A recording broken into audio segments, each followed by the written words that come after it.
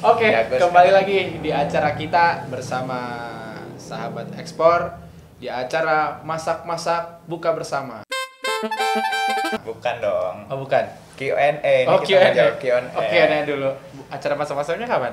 Nanti mau buka, nanti. nanti ngabuburit. Jadi teman-teman sahabat ekspor kembali lagi dengan kita di acara Q&A bersama Mr. Exporter.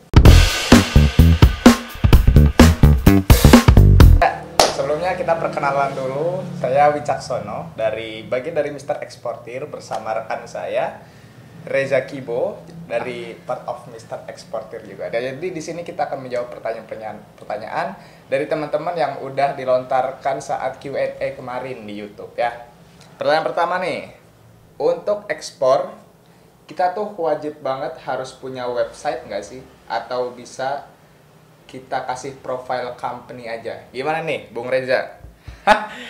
Geloi. Eh, Eh, jadi kalau gini websitenya ini kan kita transaksinya ini transaksi luar gitu kan sama bayar di luar negeri gitu atau kalaupun misalnya bayar di luar negeri harus ke Indonesia juga ada yang kayak gitu yang langsung datang untuk lihat produknya nah tapi kebanyakan sih mereka dealnya lewat the apa di luar negeri gitu jadi mereka ya via kontakan via WhatsApp via email gitu Nah, biasanya mereka tuh minta website.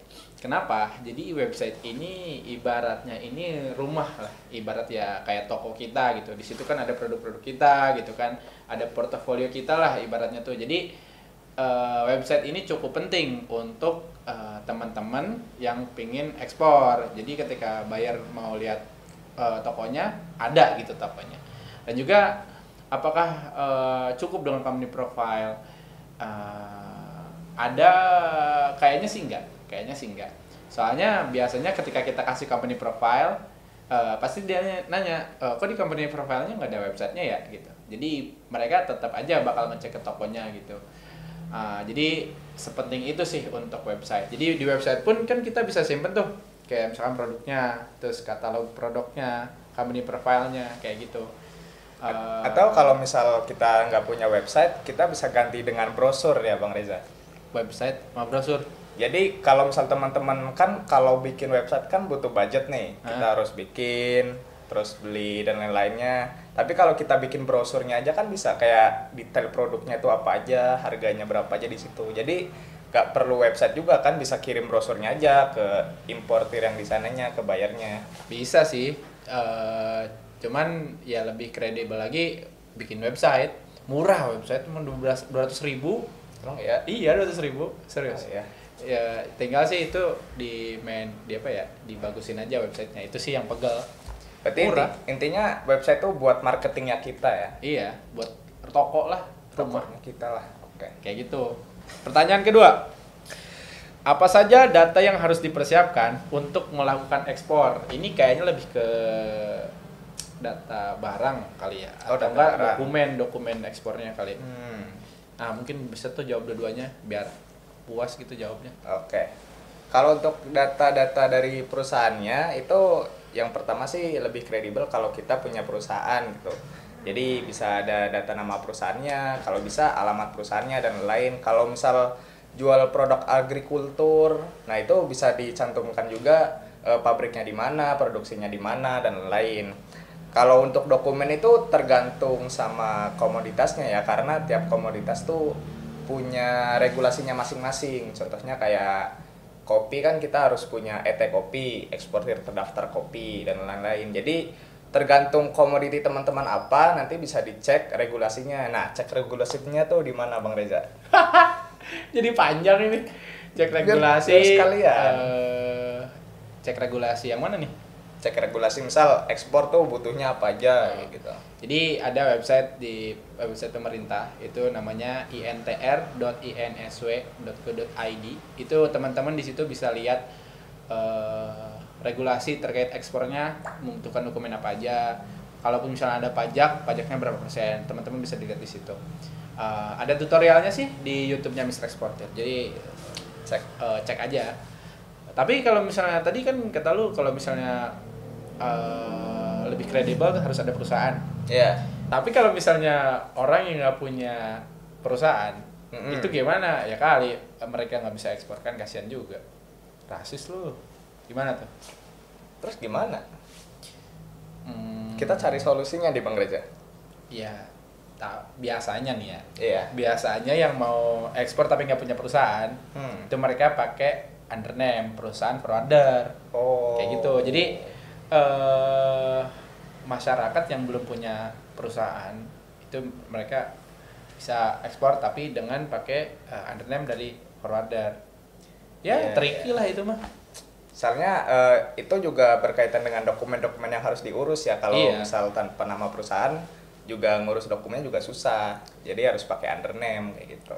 ya pajak juga kayak gitulah lumayan jadi bisa sih bisa ekspor Bisa tetap. sebenarnya ini tuh pertanyaan nyambung ya sama eh, pertanyaan nomor Tiga. Iya nomor tiga nyambung nih nomor dua nomor tiga. Tadi kan apa saja data yang harus dipersiapkan untuk melakukan ekspor, sama apakah CV bisa digunakan untuk ekspor atau harus PT?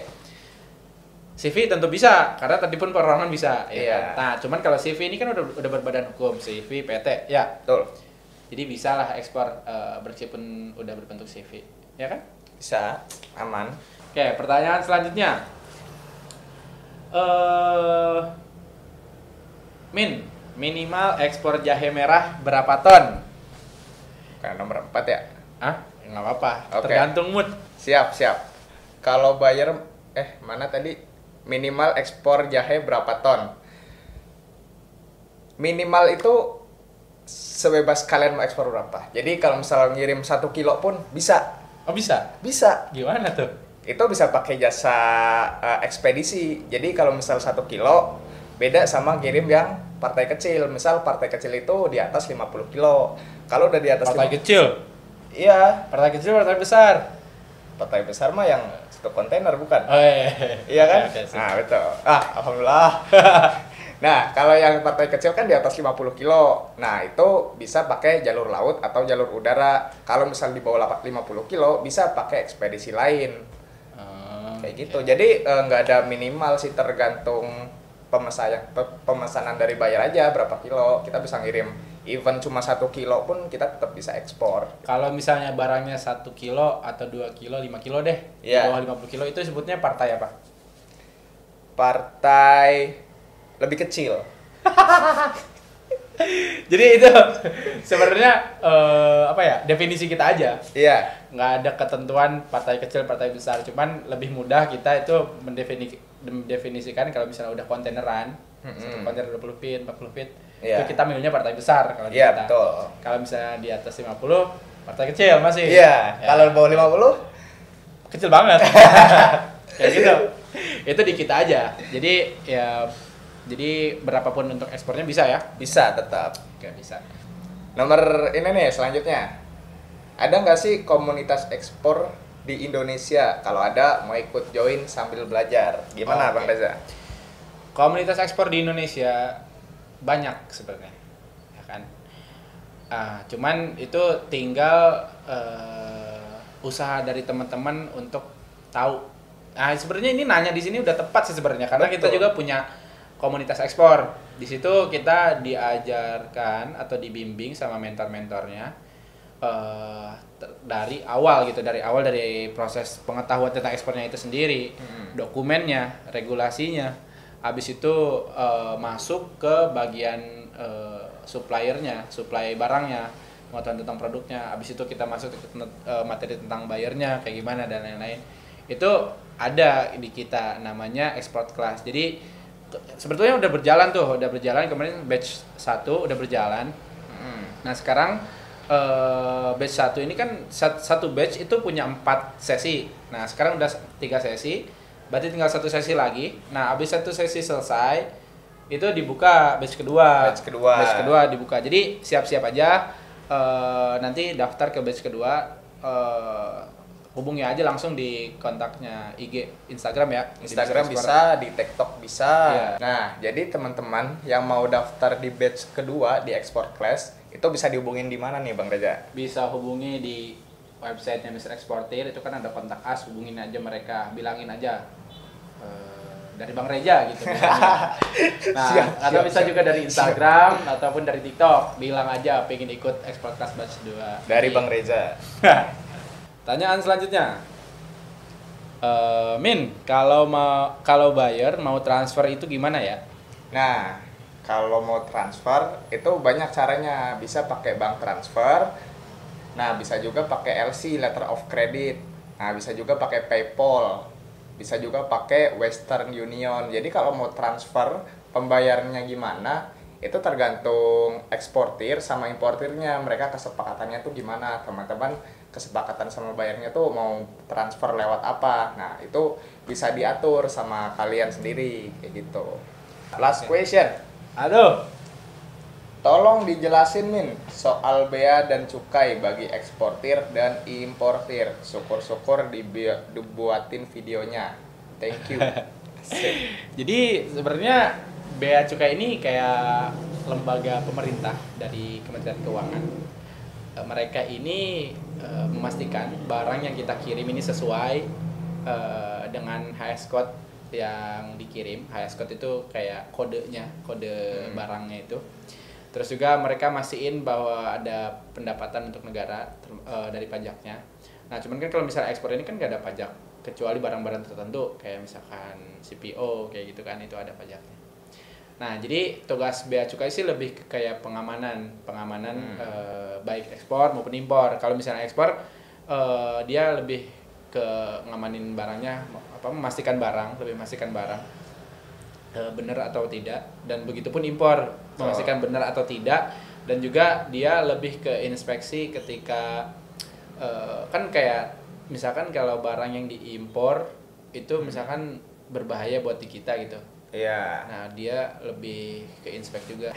Tambahan, jadi bea cukai ini eh, tadi kan tadi lebih ke tindakan pengamanan ju- juga ada pungutan terhadap eh, karakteristik barangnya. Jadi barangnya ada pungutan buat pajak lah, gampangnya tuh pajaknya gitu.